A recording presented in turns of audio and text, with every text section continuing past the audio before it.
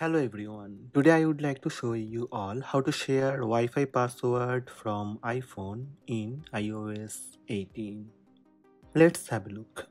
Apple introduced a new passwords app with iOS 18. This app securely stores all your passkeys, including your Wi-Fi password.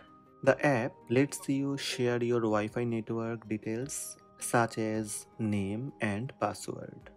First, open Passwords app. From Passwords dashboard, tap Wi-Fi. Next, select the Wi-Fi network to which your device is connected. Now, tap the Share button at the top right corner to share your Wi-Fi network details using your preferred app.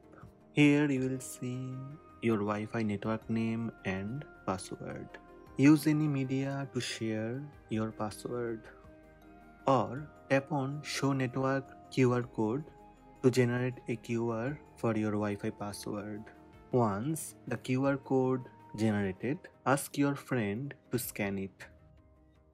When scan done, tap done on top right.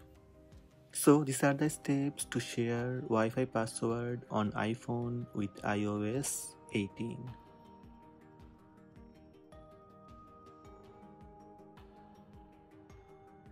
Hope this video help you. Please subscribe my channel by tap subscribe button. Also tap the bell icon to receive notifications about all new videos.